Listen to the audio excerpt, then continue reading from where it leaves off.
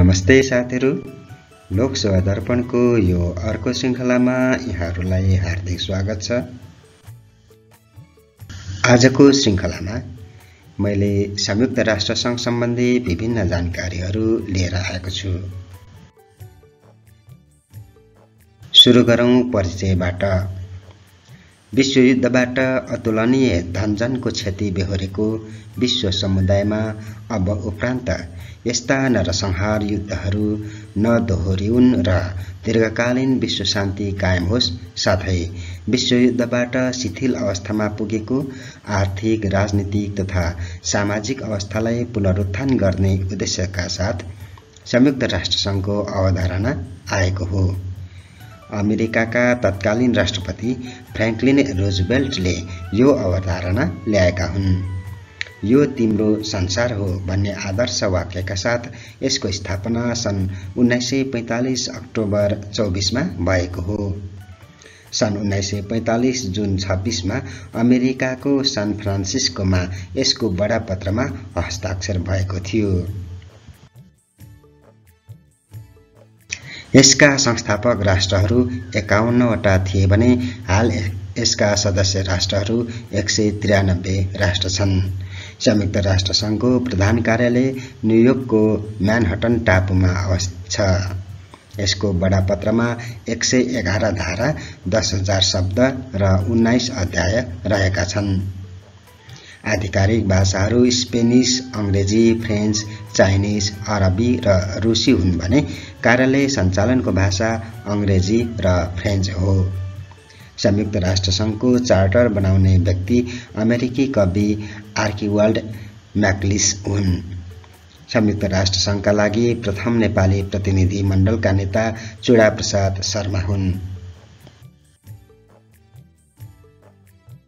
संयुक्त राष्ट्रसङ्घका बडापत्रमा भएका मुख्य मुख्य धारा सम्बन्धी जानकारी लिउँ धारा एक संयुक्त राष्ट्रसङ्घका चारवटा उद्देश्यहरू यस धारामा उल्लेख छन्। धारा दुई यस धारामा सातवटा सिद्धान्तहरू उल्लेख भएका छन्। धारा चार यस धारामा सदस्यता थप गर्ने सम्बन्धी व्यवस्था उल्लेख छ। धारा नौ संयुक्त राष्ट्रसङ्घको सबैभन्दा ठूलो अङ्ग महासभाका बारेमा यस धारामा उल्लेख छ। यसलाई विचार विमर्श गर्ने अङ्ग भनी चिनिन्छ। धारा तेइस यसको कार्यकारी अङ्ग सुरक्षा परिषद सम्बन्धी व्यवस्था यस धारामा उल्लेख छ। धारा सत्ताइस यस धारामा गणपूरक सङ्ख्या सम्बन्धी व्यवस्था गरिएको छ। धारा तेत्तिस विवादको शान्तिपूर्ण समाधान सम्बन्धी व्यवस्था यस धारामा छ। धारा बाहन्न अन्य उपक्षेत्रीय सङ्गठन स्थापना हुन सक्ने व्यवस्था यस धारामा उल्लेख छ। धारा एकसठी यस धारामा मानव अधिकार हेर्ने आर्थिक तथा सामाजिक परिषद सम्बन्धी व्यवस्था उल्लेख छ। धारा छ्यासीमा जिम्मा नजमानी परिषद सम्बन्धी व्यवस्था यस धारामा छ तर हाल यो परिषद क्रियाशील छैन। धारा बाहन्न यस धारा अन्तर्गत अन्तर्राष्ट्रिय न्यायालयको स्थापना भएको हो। धारा सन्तानब्बे संयुक्त राष्ट्रसङ्घको प्रशासनिक अङ्ग सचिवालय हो। यो सम्बन्धी प्रावधान धारा सन्तानब्बेमा छ। धारा एक सय नौ नौजना सदस्य रहने बडापत्र मूल्याङ्कन समितिको बारे यस धाराले व्यवस्था गरेको छ। संयुक्त राष्ट्रसङ्घका अङ्गहरू यस सङ्घका अङ्गहरू छवटा रहेका छन्। महासभा सुरक्षा परिषद आर्थिक तथा सामाजिक परिषद जिम्मा जमानी परिषद अन्तर्राष्ट्रिय न्यायालय र सचिवालय। महासभा। यो संयुक्त राष्ट्रसङ्घको सबैभन्दा ठूलो अङ्ग हो। महासभाको अधिवेशन वर्षको एक पटक हुने गर्दछ। यो सेप्टेम्बर महिनाको अन्तिम मङ्गलबारबाट सुरु भई डिसेम्बरको मध्यसम्म बस्छ। महासभाको बैठकमा प्रत्येक देशका पाँच पाँच प्रतिनिधि पठाउने प्रावधान छ तर मतदान अधिकार भने एक राष्ट्रबाट एकजनालाई मात्र हुन्छ। महासभामा सबैभन्दा बढी बोल्ने व्यक्ति क्युबाका तत्कालीन राष्ट्रपति फिड्रेल क्यास्ट्रो हुन् भने उनले चार घन्टा उन्नाइस मिनट बोलेका थिए। त्यस्तै सबैभन्दा कम बोल्ने व्यक्ति भुटानका दावा छिरिङ हुन्। उनले तीस सेकेन्ड मात्र बोलेका थिए। महासभाको पहिलो अधिवेशनको अध्यक्षता गर्ने व्यक्ति पावल हेनरी स्पाक हुन्। सुरक्षा परिषद। सुरक्षा परिषद संयुक्त राष्ट्र सङ्घको कार्यकारी अङ्ग हो। यसमा जम्मा पन्ध्र राष्ट्र सदस्य हुन्छन् जसमा स्थायी सदस्य राष्ट्र पाँच र अस्थायी सदस्य राष्ट्र दस रहने प्रावधान छ। स्थायी सदस्य राष्ट्रहरू रुस चीन बेलायत फ्रान्स र अमेरिका हुन्। दस अस्थायी राष्ट्रहरू भने भौगोलिक क्षेत्रको आधारमा हरेक दुई वर्षका लागि छनौट हुने गर्दछन्। छनौटको आधार छनौटको आधार क्षेत्र देहाय बमोजिम हुने व्यवस्था छ। एफ्रो एसियाली मुलुकबाट पाँचवटा देश ल्याटिन अमेरिकाबाट दुईवटा देश पूर्वी युरोपबाट एकवटा देश र पश्चिम युरोप र अन्यबाट दुईवटा देश। भिटो अधिकार सम्बन्धी जानकारी। भिटोको शाब्दिक अर्थ निषेध निषेधाधिकार भन्ने हुन्छ। संयुक्त राष्ट्रसङ्घको महासभामा अति महत्त्वपूर्ण विषयमा छलफल हुँदा सुरक्षा परिषदका स्थायी पाँच सदस्य राष्ट्रहरूले प्रयोग गर्न पाउने नकारात्मक अधिकारलाई भिटो मानिन्छ। इजिप्टबाट एङ्ग्लो फ्रेन्च सैनिक हटाउने निर्णयमा बेलायतले सबैभन्दा पहिले सन् उन्नाइस सय छप्पन्नमा भिटो पावर प्रयोग गरेको थियो। एउटै विषयमा कुनै राष्ट्रले दुई पटक नकारात्मक अधिकार प्रयोग गरेको अवस्थालाई दोहोरो भिटो भनिन्छ। सन् उन्नाइस सय बयानब्बेमा चेकोस्लोभाकियाको युद्धमा सैनिक प्रयोगको विषयमा रुसले दोहोरो भिटो प्रयोग गरेको थियो। सबैभन्दा बढी भिटो प्रयोग गर्ने देश रुस हो भने कम प्रयोग गर्ने देश चीन हो। सन् दुई हजार उन्नाइस फेब्रुअरी अठाइसमा भेनेजुएलाको राष्ट्रपति सङ्कटका विषयमा रुसले भिटो अधिकार प्रयोग गरेको थियो। सुरक्षा परिषदमा अस्थायी सदस्य नहुने सार्क राष्ट्रहरू मालदिप्स भुटान र अफगानिस्तान हुन्। सबैभन्दा बढी एघार पटक अस्थायी सदस्य हुने देश जापान हो। हालका अस्थायी दस राष्ट्रहरू देहा बमोजिम रहेका छन्। सन् दुई हजार बाइसमा दुई वर्ष अवधि पुरा हुने राष्ट्रहरू Bharat Ireland Kenya Mexico Norway छन्। त्यस्तै सन् दुई हजार तेइसमा दुई वर्ष अवधि पुरा हुने राष्ट्रहरू Albania Brazil Gabon Ghana United Arab Emirate छन्। आर्थिक तथा सामाजिक परिषद। संयुक्त राष्ट्र सङ्घको यो परिषद मानव अधिकार सम्बन्धी विषय हेर्ने अङ्ग हो। यस परिषदमा जम्मा चौवन्नवटा देशहरू रहन्छन्। प्रत्येक देशको पदावधि तीन वर्षको हुन्छ। यस परिषदमा एसियाबाट एघारजना अफ्रिकाबाट चौध ल्याटिन अमेरिकाबाट दस पूर्वी युरोपबाट छ पश्चिम युरोप र अन्यबाट तेह्र गरी जम्मा चौवन्न राष्ट्र निर्वाचित हुने गर्दछन्। प्रत्येक वर्ष एक तिहाई अर्थात् अठारजनाको अवधि समाप्त हुन्छ। यसका पाँचवटा क्षेत्रीय कार्यालयहरू रहन्छन्। आर्थिक तथा सामाजिक परिषदका क्षेत्रीय कार्यालयहरू। अफ्रिकी आर्थिक आयोग अदिस बाबा अदिस अबाबा इथियोपियामा छ। एसिया र प्रशान्त क्षेत्रीय आर्थिक तथा सामाजिक आयोग ब्याङ्कक थाइ ब्याङ्कक थाइल्यान्डमा छ। युरोपेली आर्थिक सहयोग जेनेभा स्विजरल्यान्डमा छ। ल्याटिन अमेरिका र क्यारिबियनका लागि आर्थिक सहयोग सेन्टियागो चिलीमा छ। पश्चिम एसियाका लागि आर्थिक तथा सामाजिक आयोग बेरुद लेबनानमा छ। जिम्मा जमानी परिषद अर्थात् न्याय परिषद। यसलाई संयुक्त राष्ट्र सङ्घको सबैभन्दा सफल अङ्ग मानिन्छ।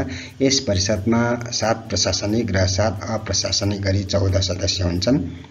यस परिषदका सदस्यहरूमा पाँच स्थायी सदस्य राष्ट्रहरू जिम्मा क्षेत्रमा शासन चलाउने राष्ट्रहरू र महासभाबाट निर्वाचित अन्य सदस्यहरू हुन्छन्। उपनिवेशमा रहेका राष्ट्रहरू तथा स्वतन्त्र प्राप्त गर्ने स्वतन्त्रता प्राप्त गर्न क्रियाशील रहेका राष्ट्रहरूलाई स्वतन्त्रता दिलाउन प्रयत्न गर्नु र आफै शासन गर्न असक्षम राष्ट्रहरूलाई आफै शासन सञ्चालन गर्न योग्य बनाउन सहयोग गर्नु यस परिषदको प्रमुख कार्य हुन्। यो परिषद हाल क्रियाशील छैन। यसले स्वतन्त्रता दिलाएको पछिल्लो राष्ट्र पलाउ हो। पलाउ स्वतन्त्र भएको सन् उन्नाइस सय चौरानब्बे नोभेम्बर एकमा हो। अन्तर्राष्ट्रिय न्यायालय। यो संयुक्त राष्ट्रसङ्घको न्यायिक अङ्ग हो। सन् उन्नाइस सय एक्काइसमा पर्मानेन्ट कोर्ट अफ इन्टरनेसनल जस्टिसको रूपमा यसको स्थापना भएको हो। प्रधान कार्यालय नेदरल्यान्डको हेगमा छ। यो सन् उन्नाइस सय पैँतालिसदेखि संयुक्त राष्ट्रसङ्घको अङ्ग बनेको हो। यसमा संयुक्त राष्ट्रसङ्घका महासचिवले सहभागी हुन पाउँदैनन्। यसमा पन्ध्रजना न्यायाधीशहरू रहन्छन्। उनीहरूको पदावधि नौ वर्षको हुन्छ। न्यायाधीशहरूले आफूहरूमध्येबाट तीन वर्षका लागि प्रमुख न्यायाधीश छान्ने गर्दछन्।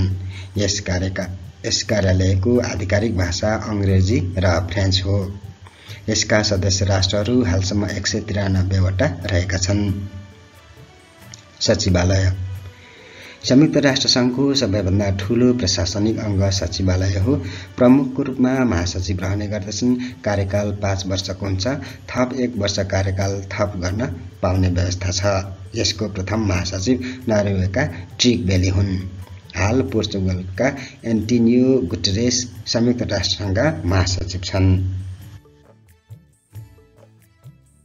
हालसम्म कार्यरत महासचिवहरू सम्बन्धी विवरण पहिलो ट्रिकबेरी नर्वेका हुन्।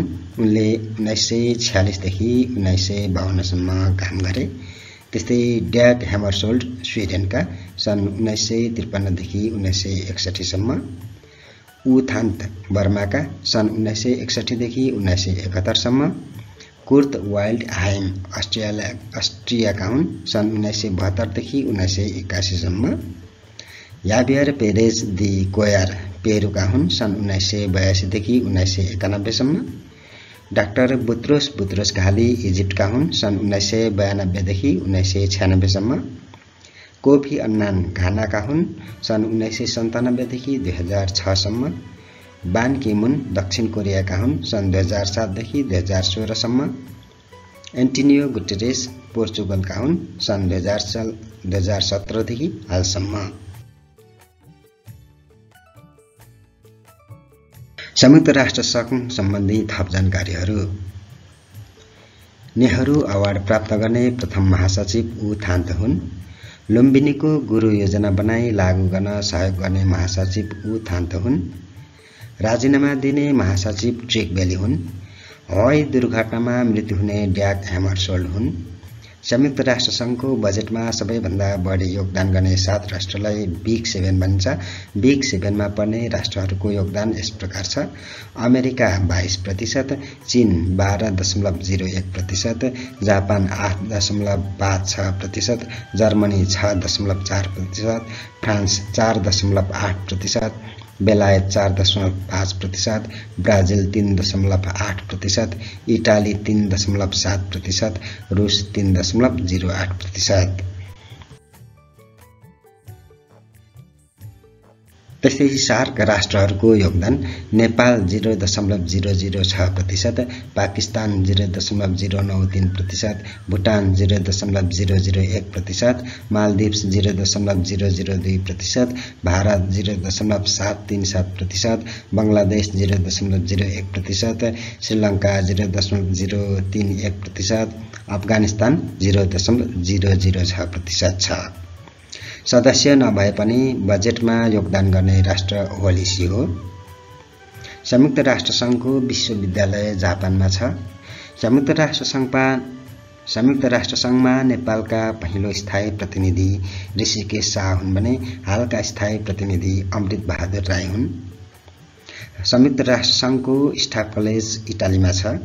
नेपालले संयुक्त राष्ट्रसङ्घको सदस्यता प्राप्त गर्दा नेपालका प्रधानमन्त्री टङ्कप्रसाद आचार्य थिए। संयुक्त राष्ट्रसङ्घको सदस्यता त्याग गर्ने पहिलो राष्ट्र इन्डोनेसिया हो। सदस्यबाट हटाइएको राष्ट्र ताइवान हो। चीन प्रवेशपछि हटाइएको हो। संयुक्त राष्ट्रसङ्घका पर्यवेक्षक राष्ट्रहरू प्यालेस्टाइन र होलिसी हुन्। संयुक्त राष्ट्रसङ्घका पछिल्ला पाँच राष्ट्रहरू यस प्रकार छन्। एक सय तिरानब्बेौँ दक्षिणी सुडान दुई हजार एघार। एक सय बयानब्बेौँ मन्टेनेग्रो दुई हजार छ।